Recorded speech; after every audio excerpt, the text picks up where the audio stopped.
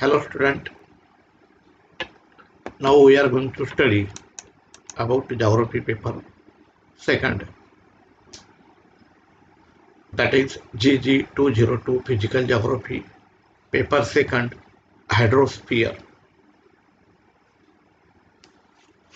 Now we have to study about unit number 4 marine deposits and coral reefs. This unit includes marine deposits and coral reefs. In the study of uh, marine deposits, we have to discuss about meaning of marine deposit, classification based on the sources of origin. The sources are terrigenous, biogenous, hydrogenous, and cosmogenous. Then the types of ooze, calcareous ooze and siliceous ooze. Then we have to study coral reefs, definition and formation of coral reefs, types of coral reefs. Here we have to discuss about fringing reef, barrier reef, atolls, table reef, and patch reef. Now we have to study about marine deposits. The unconsolidated materials, that is the sediments, derived from various sources. And this material gets deposited at the sea floor. Are included in ocean deposits.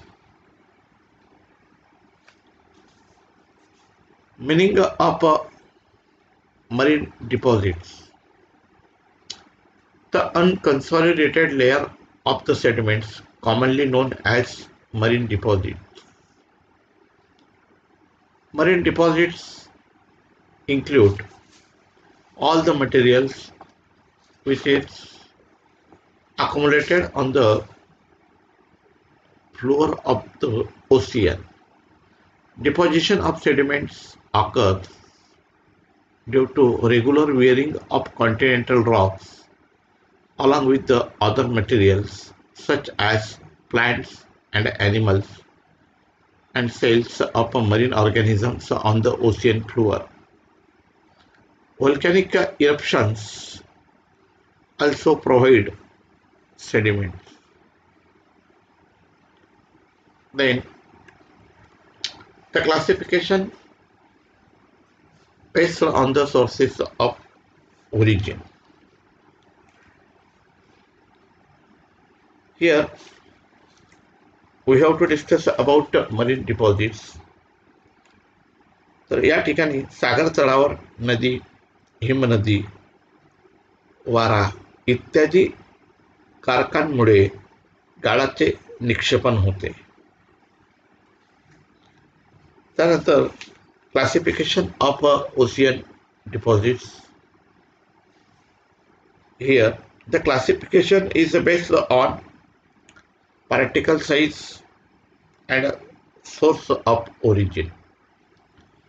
The marine or ocean sediments deposited on the ocean floor, uh, floor are derived from major sources and uh, these sources are terragenous sources, biogenous sources, hydrogenous sources and cosmogenous sources. About the terrigenous materials, these deposits are found on those parts of the ocean floor that lie comparatively closer to the land and are found on the continental shelf and the continental slope. These deposits are derived mainly from the land. Then sources, terrigenous materials sources. Under the process of uh, weathering, rock transformed into coarse to fine sediments. These sediments of continental origin are called as terrigenous materials. The deposits of the continental shelf and slope are mainly inorganic in origin. Rivers are the major agents of erosion on the, uh, on the surface of the earth. The eroded material is carried along with the flow and finally it is deposited on the ocean floor.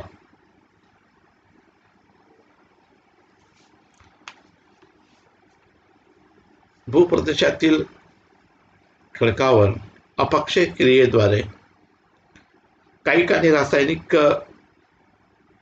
विदारण होऊन निर्माण होणाऱ्या निक्षेपणाला भूजन्य म्हणजे भूमीच निक्षेप म्हणतात.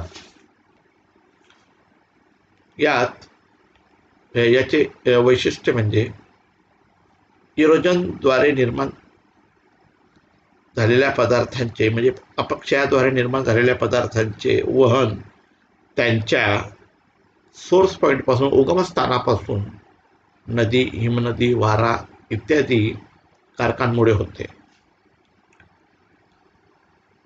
निम ओसाड म्हणजे स semi प्रदेशातून बऱ्याच अंशी भूजन्य निक्षेपण प्राप्त होते. या प्रदेशात पर्वताचे वितरण जास्त आहे. निम ओसाड प्रदेशात पावसाचे प्रमाण कमी असल्याने अपक्षरण क्रियेस रोध करणाऱ्या वनस्पती यांचे प्रमाण जास्त प्रमा जास्त नसते. परंतु मृदेचे भरपूर प्रमाणात अपक्षरण होत जाते since there is a much difference in the shape and uh, size the terragenous materials uh, of terragenous materials the peculiarity of this material is that to a certain extent it is sorted out according to the size of particles. The boulders, cobbles and pebbles are deposited near the coast. The boulders, cobbles and pebbles are the larger, are having a larger size and these uh, types of sediments are deposited near the coast sand particles the material smaller than the pebbles are carried over longer distances and are found up to the edge of the continental shelf. Thus, the larger fragments lie close to the coast, while the finer particles or sediments are found away from the coast. Very fine sediments are kept in suspension in the offshore region. Transportation of particles of different sizes depends on the strength of the waves and the ocean currents. On the basis of texture, mode of transportation, and chemical properties, the terrigenous materials are broadly divided into gravel, sand, and mud or clay. Gravel. Gravel is a coarse material varies between a powder and a granules. The size of the gravel ranges from di a diameter of 256 mm to 2 mm. According to their size, gravel may be subdivided like uh, boulder, cobbles, pebbles, and granules. Boulders are having a size 256 millimeter, cobbles 64 mm, pebbles 4 mm, and granules 2 mm. Gravels are deposited near the coast on the continental shelves. Due to the process of weathering, there is a, a reduction in the size of particles. Such materials are brought to ocean through rivers. Then the sand. Sand is formed due to wearing of rocks. The sediments varies in diameter that is from 1 millimeter to 1 16th millimeter. On the basis of diameter, sand may be subdivided as uh, sand, uh, very coarse sand, coarse sand, medium sand, fine sand, and a very fine sand. Then silt, clay, and mud. These are the finer particles having a, a very, very less diameters. These particles are much smaller than sand. Clays are more finer than muds and uh, act as cementing material of sediments.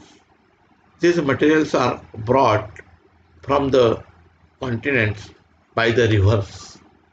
Clay and muds are deposited in calm water. Then mud.